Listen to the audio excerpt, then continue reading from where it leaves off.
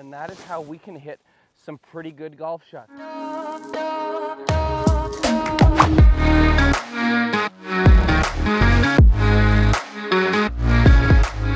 So here's another option for somebody with a really, really strong grip, and this is how we're going to sync it up. So we talked about if our face gets too closed on the downswing to backline right here. We talked about one option, which is tilting behind it more and pushing the handle more forward. There's also another option.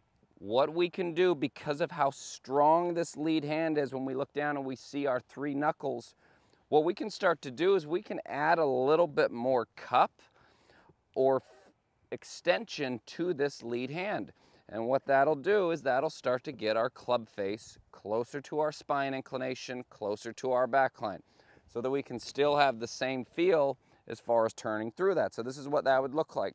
Instead of me feeling a lot of tilt out of it, I'm gonna feel a little bit more extension here in my lead wrist and then we can just turn through that shot, keeping that extension in. So it looks something like this. We're here, I feel it once, there's the extension, my face is good.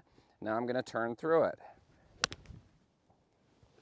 So as you can see, that golf ball went really straight and that time I didn't have to feel as much tilt. So there is another option for you when you're trying to sync up the club face to get it back to impact square if you do have that strong grip and your face tends to get too closed.